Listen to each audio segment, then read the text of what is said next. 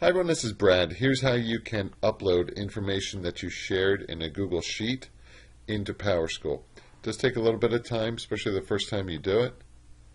If you go into Power Teacher Pro and go into Reports and Student Roster, you have to just have these two, which will come up automatically, name and ID, and select Run Report.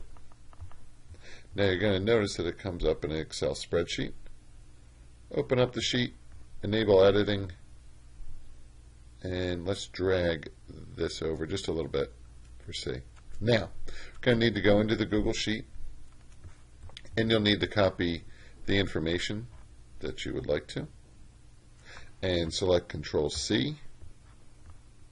Go back into the Excel spreadsheet Control V to paste.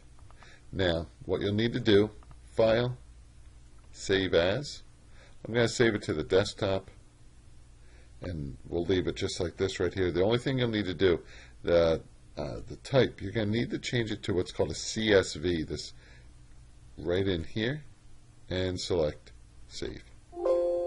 And then select Yes. Now go ahead back into PowerSchool.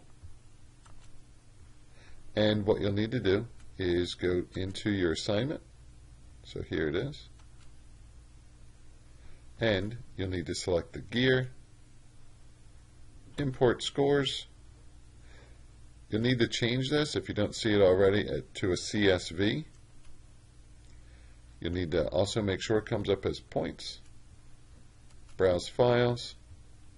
Scroll down and find that file which was right here. Select open. Next. Here it is. Everything's been placed in. And select import.